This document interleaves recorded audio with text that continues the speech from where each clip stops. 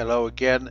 The purpose of this tutorial is to demonstrate how to convert a 2D drawing into a solid model. Please remember that there are always more than one way to do anything. My method of drawing with AutoCAD may seem unusual, but it has worked for me for the past 20 years. So please stay tuned.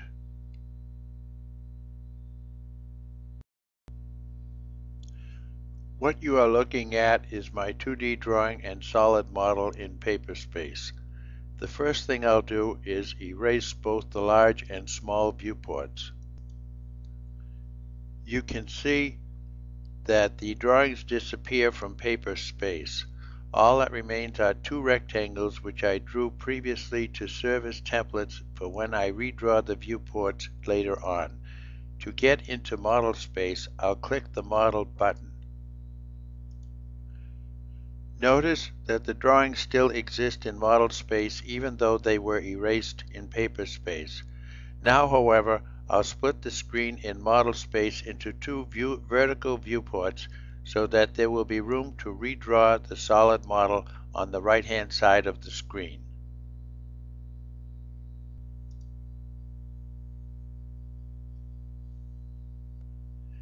I created the two viewports so that you can see the original drawing on the left and better understand how I'm going to create the solid model. First I'll create a new layer, call it solid, make it blue, and make it current. Then I'm going to draw two circles which are concentric.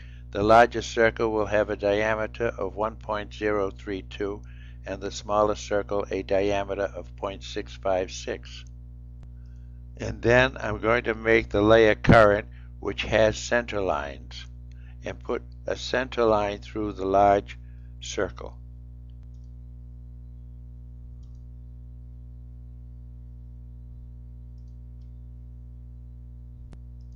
And now I'll zoom into an area of interest. At this point, I'm going to offset this line 0.03 up and 0.03 down. Next, I'll break the outer circle and select a first point at this intersection and there for the second point. And I'll repeat that procedure for the inner circle.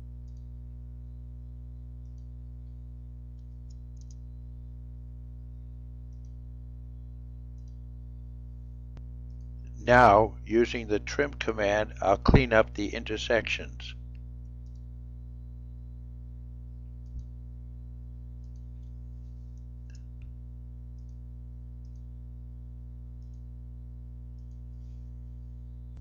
and then zoom back to the original view. At this time I decided to uh, erase the center lines. In order to extrude the retaining ring, I shall have to make it one continuous polyline. To accomplish that, I'm going to use the polyline edit command. I'll select a line. I'm asked if I want to turn it into a polyline. I say yes.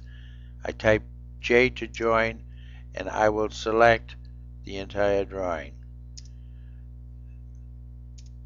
Now I believe it is a polyline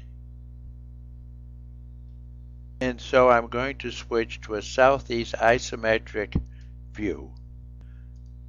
I'm going to select a polyline now and extrude it a distance of 0.094.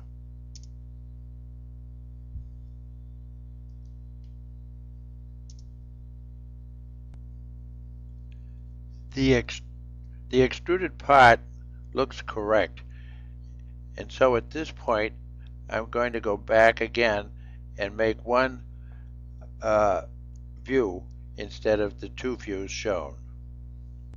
And then I'll move the view back into the top or plan view.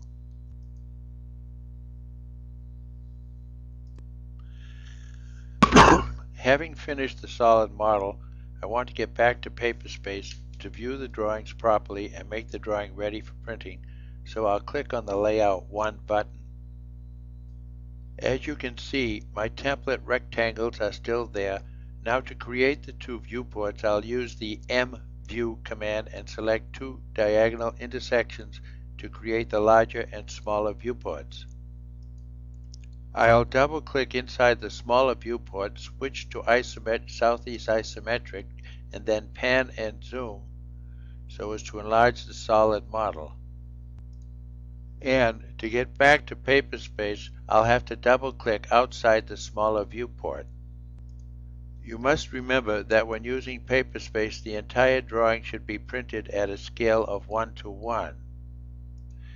Even though individual viewports can have can be set to different scales. You can set the scale of the large viewport by selecting it and clicking on the Properties button, going down to under Miscellaneous to Standard Scale, and then select any scale you want. Once the scale is set, you double click inside the viewport uh, so as to gain access and then you can pan so as to hide the solid model